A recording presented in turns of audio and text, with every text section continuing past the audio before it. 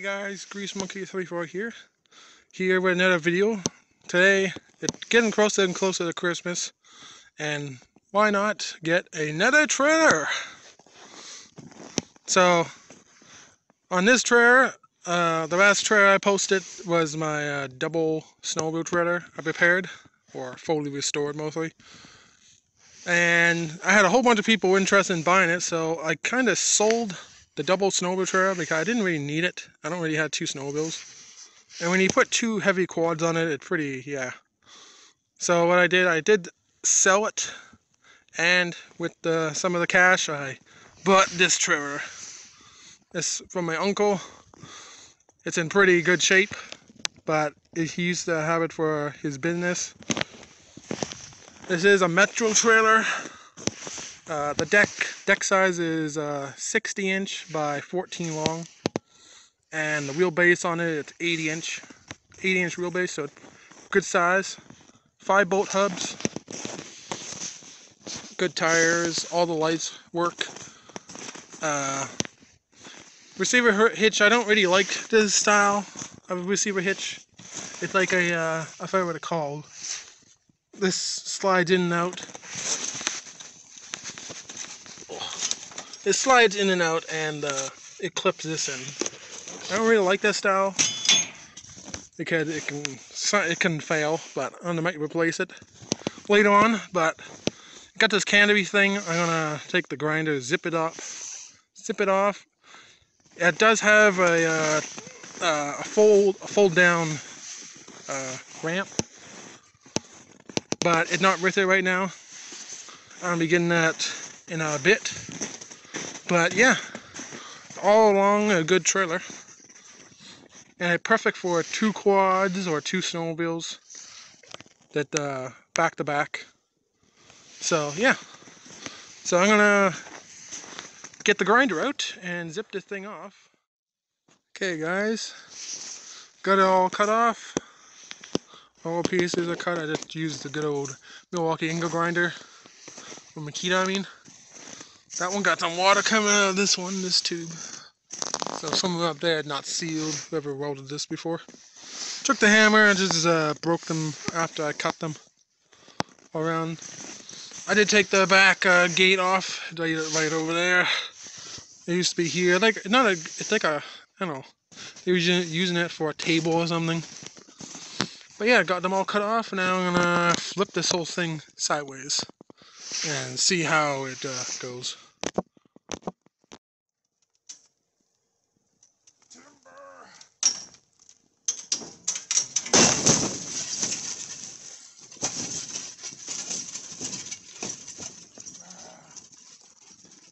Well, Jackie held together pretty good.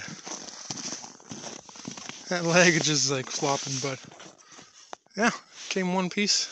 A Whole bunch of metal I can use in this piece. Okay guys, I got the trailer in my garage, just barely fits.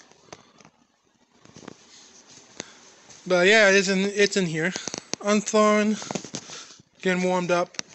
Things I'm gonna do to uh, this is clean up all the well, uh, where I cut it off, those pieces, clean them up, paint, put a little bit of black paint on them. Uh, this deck, uh, someone put uh, piece of, uh, what it called? Vinyl, I guess? Linoleum flooring or something on some plywood. And then the plywood is on top of the 2x6s going this way.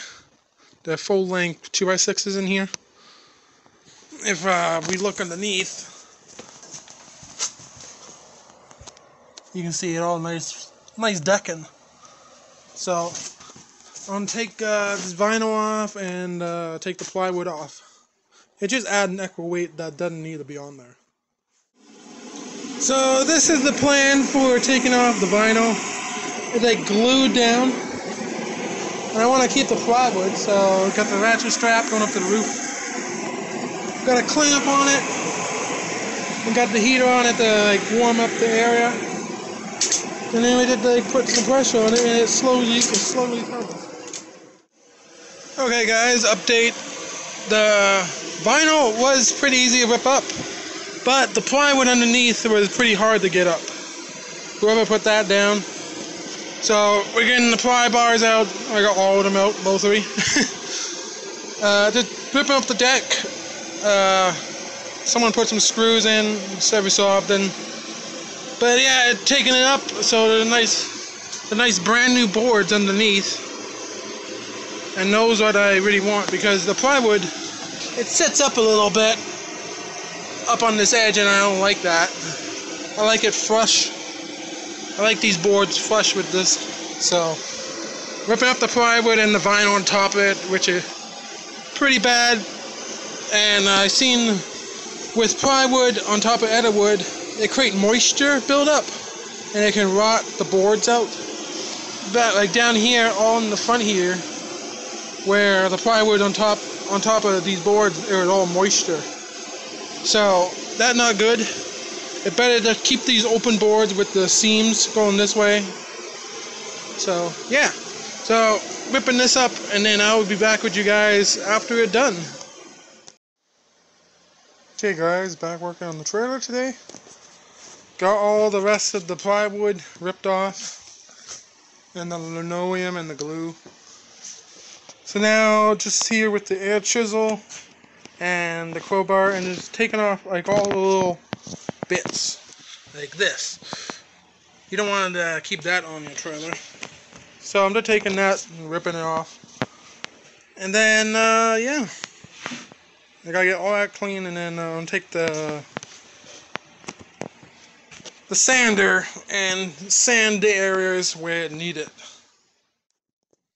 okay guys okay got it all cleaned up.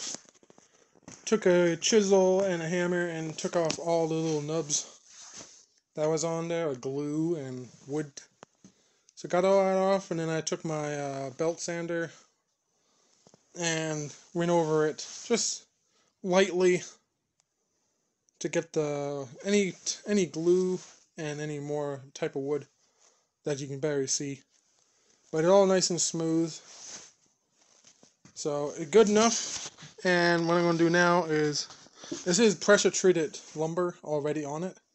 But I sanded the top off so a little bit of protection is gone. So I'm going to put a, a, coat of Lurth, uh, like stain on it so it seeps in nice and deep.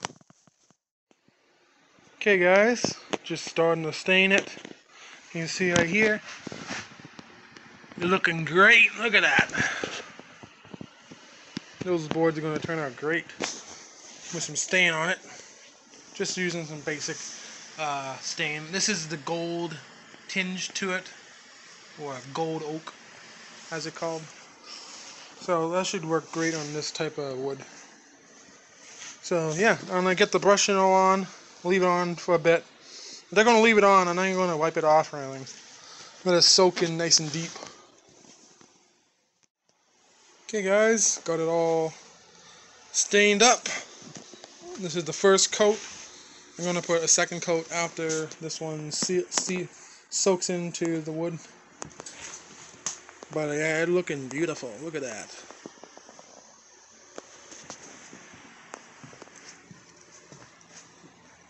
Yeah, she's looking good. So I'm wait for this. While I'm waiting, I'm gonna take the oil wheel like to some of these rusty sparks, uh, clean them up, and then uh, take some just uh, rust coat black paint, gloss black, and touch up like those little spots. There's a whole bunch of like the pockets, and then uh, the railing. They go on the sides, the little pockets where they go in the pocket. A little bit rusty in some spots, so I'm just touching up all everything.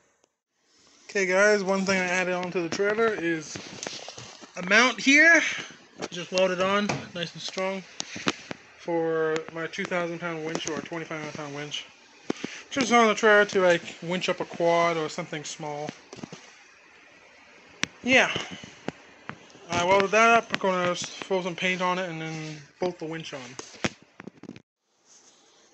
Okay guys, got the winch bolted in, or welded in, and bolted, I guess. Got a cover plate so that works. Hooked up the winch controller. So that all connected there. And yeah, so she works. And I can just connect it to my truck or any uh, any uh, vehicle have this adapter. So that's easy. And then I also, uh, because I like multiple winches and I can't trust the electric winch 100% all the time, uh, I put my uh, hand winch back on this trailer. I had this on the multiple different trailers. I like it. So I welded a nice bra brace in here. It all nice and strong. And I meant for a double wall tubing or square tubing. It's an inch and a half inside an inch and three quarter. So yeah. But yeah, it uh, and it removable. So you flick the switch, wind it back down, unhook it down here. There's a little clip for it. And this whole thing can uh, just pull out, take it out, you can lower the uh, trailer down or anything, slip it back in, or you can take it out and flip it this way. So we can winch from the side. So, so if you haven't had the winch from the side, we can do that. But yeah, it slips right in and it perfectly lined up and it's so smooth you can't even tell it wasn't one piece. Yeah. And to make sure it doesn't pop out on the highway, just hook that down there and it winching in there. We go. Now it can't come out. Because I like hand winches because they are reliable. hey guys, got the rear piece painted up because it was pretty rusty. And I put a second coat of wood stain on there. All nice and shiny right now, but little dull once it soaks in a little more. And I painted all the little edges wherever everything rusty. So, yeah. And I painted the, the hand winch. That's all done up there, so it's not going to rust. Yeah. So now, I think I'm going to do, get these sides put back on, and yeah, it'd be ready to go almost. Okay guys, got the sides put back on, and I touch up some spots where I took the canopy off. Yeah, smoothed it out and painted it. Yeah, so she's starting to look good, and I uh, going to be putting some decals on or the DOT uh, reflectors on some different places. The best part I found in the in the winter, this is this building is heated, but uh, take a heat gun, warm up the area where you want to stick it, make sure it's nice and clean, and then stick them on, and they won't peel off in a couple months. That's the best way I found.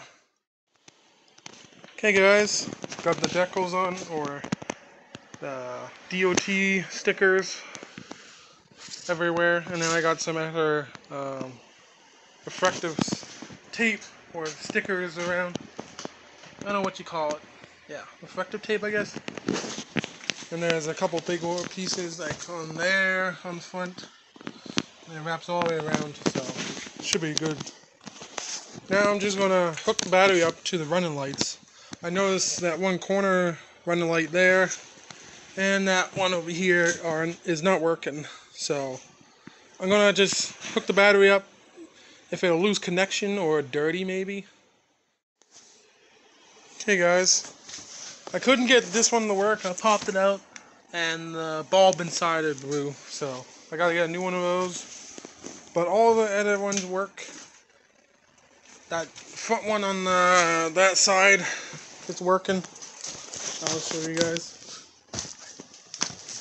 It was just dirty connection. But she works now, all the rest work. So Okay guys, got the spare tire holder all done. Just used a hub, cut out two of them and weld them in. So there are only three mounts or three uh, bolts for the tire. And then back here there's multiple adjustments on this steel bracket. And it comes out about five inches, and I made some uh, brackets to bolt it onto my little trailer. Okay guys, got the spare tire holder bolted onto the side of the trailer. So that all bolted on. So that's gonna go there on the passenger side because that's the safer side to have it. When you have to take it out on the side of the highway. Yeah. Okay guys, got it all complete. Got it pulled out of my building. Hooked to the truck. This is how I got hooked up here. Up the right way. And now, I'm gonna take it for a first ride on the road. But yeah, I got all the decals. You can see with the sunlight, it really hits it and it's nice and shiny. So yeah, do a little walk around. Gonna be getting the gate very soon. Out they're gonna be slapping that on. got the trailer for you. Oh, it looks way better than it did before. So I hope you guys enjoy this video and I'll see you guys in the next one, I guess. Bye.